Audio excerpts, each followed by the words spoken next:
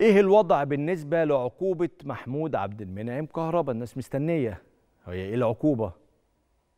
القصة بتاعت مباراة الأهلي والزمالك.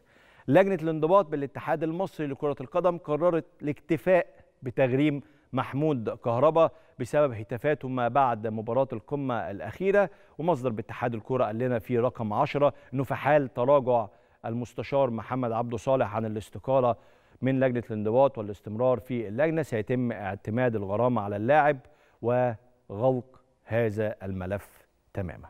يعني عقوبة كهرباء هتبقى غرامة وبس وبس.